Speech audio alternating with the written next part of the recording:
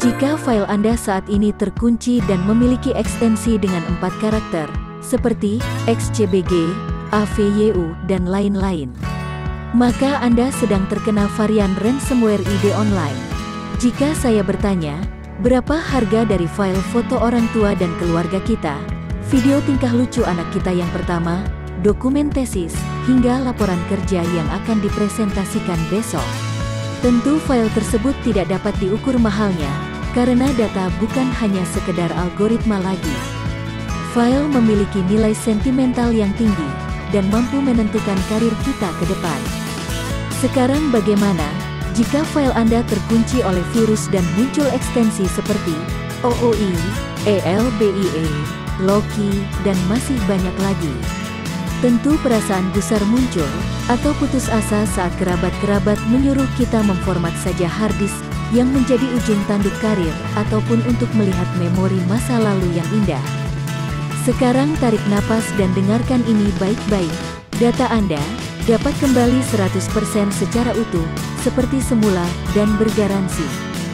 Fixransomware.com by Digipedia, sebagai perusahaan software dan cybersecurity, akan menjelaskan kepada Anda secara singkat dan runtut, bagaimana data Anda dapat dipulihkan 100%.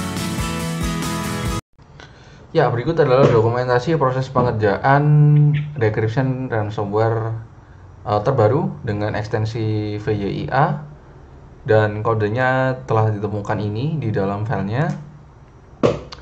Oke, jadi ini uh, pengerjaan uh, file sebagian ya. Jadi yang dikerjakan itu sebagian folder saja. Jadi biayanya lebih terjangkau tentunya. Uh, Oke, jadi bisa dilihat di sini bahwa ini adalah kumpulan gambar-gambar dan skripsi. Dan di sini ya terdapat beberapa dokumen yang bisa dilihat. Ini semuanya VYA ya, tidak bisa dibuka gitu.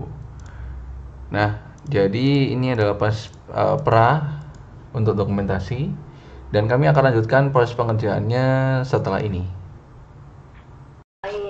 Baik, jadi berikut adalah dokumentasi pasca pengerjaan. Bisa dilihat di sini bahwa kualitas dari filenya lossless.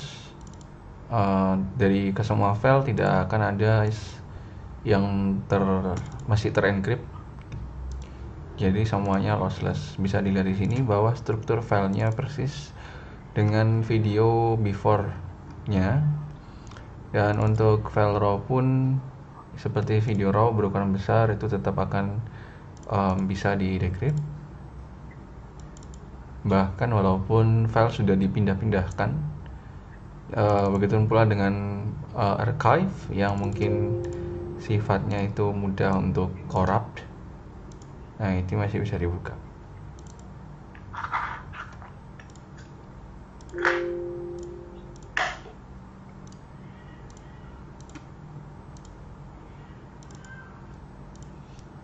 Ya, begitu pula dengan ini, file berukuran besar tidak akan korup, bisa dites di WinRAR bahkan. Ya, tidak ada error sama sekali. Jadi ini adalah dokumentasi after dari VIA.